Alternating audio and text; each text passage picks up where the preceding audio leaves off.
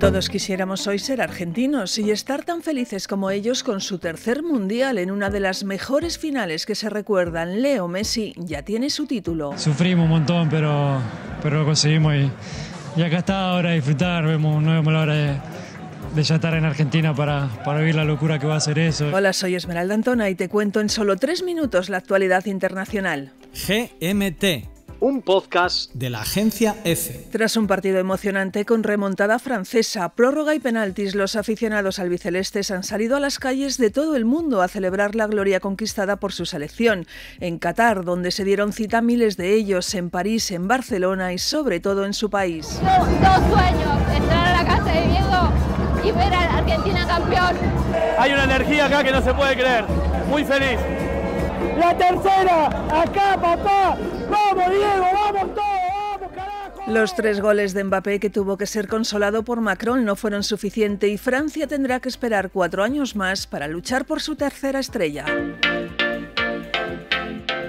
Lo que esperan en Ucrania y mucho antes, de aquí a final de año, son más bombardeos masivos porque Moscú ha comprado una nueva partida de drones a Irán. El ministro de Defensa ruso visitó este domingo a las tropas en el frente que no dejaron de lanzar misiles.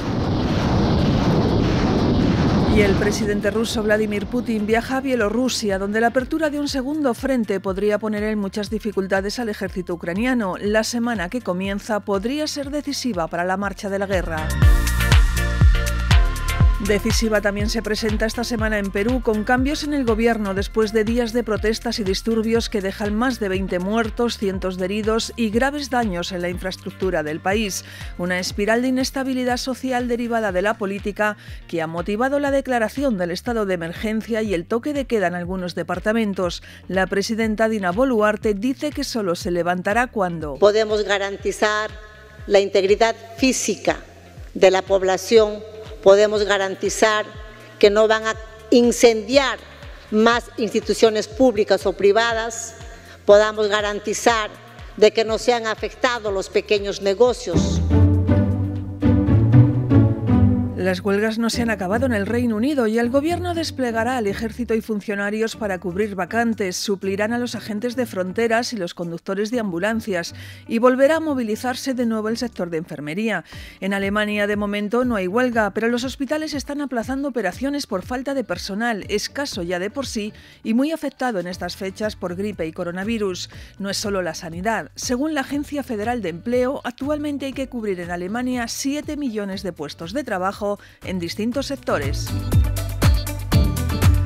Estados Unidos se prepara para un aumento de migrantes a partir del miércoles, cuando dejará de aplicarse el título 42, una norma que ha permitido hasta ahora expulsar a la mayoría de personas que cruzan la frontera sur.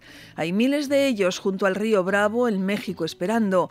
Este domingo era el Día Internacional del Migrante y se han reclamado sus derechos en manifestaciones como esta de París. La loi de Darmanin va augmenter la criminalización de sans-papiers.